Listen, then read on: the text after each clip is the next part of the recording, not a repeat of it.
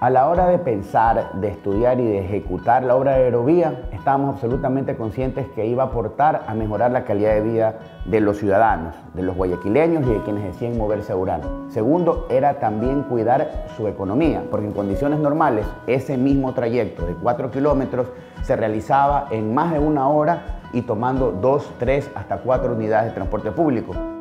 A nosotros, quienes estamos aquí en la ciudad de la Bel Gilbert de Durán, realmente es una ventaja poder llegar en 20 minutos a la casa.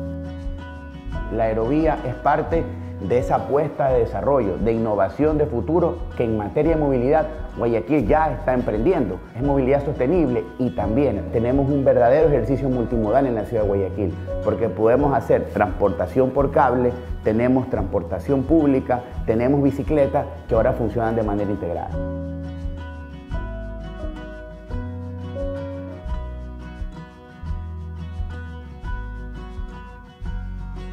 El proyecto consiste en generar productos que sirvan para manejar mejor las áreas verdes de la ciudad. Por eso se llama Plan Maestro de Áreas Verdes de Guayaquil. Este plan tiene dos objetivos. El primer es aumentar la cantidad de espacios verdes de la ciudad para poder mitigar y permitir la adaptación al cambio climático. El segundo objetivo es mejorar los espacios públicos para la movilidad alternativa, que es el peatón, el ciclista.